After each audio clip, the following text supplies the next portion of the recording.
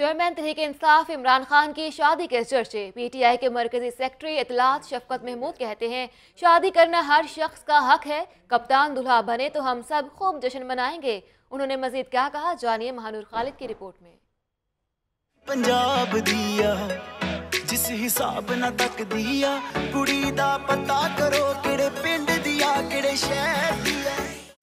کے کارکنوں اور رہنماؤں میں بھی عمران خان کی شادی کے چرچے۔ اقبال ٹاؤن میں پی پی ایک سو اکاون کی ممبر سازی مہم کا انعقاد کیا گیا۔ مرکزی سیکرٹری اطلاعات پاکستان تحریک انصاف شفقت محمود نے خصوصی شرکت کی۔ شفقت محمود نے عمران خان کی شادی کی خبروں سے متعلق بھی گفتگو کی۔ کہتے ہیں، شادی کرنا ہر شخص کا حق ہے۔ چیئرمین تحریک انصاف جب بھی سہرا سجائیں گے، خوشیاں منائی جائیں گی۔ یہ ان کا ایک ذاتی معاملہ ہے۔ ہر انسان کو، چاہے وہ سیاسی لیڈر ہو چاہے وہ اپنی ذاتی زندگی کو گزارنے کا حق حاصل ہے۔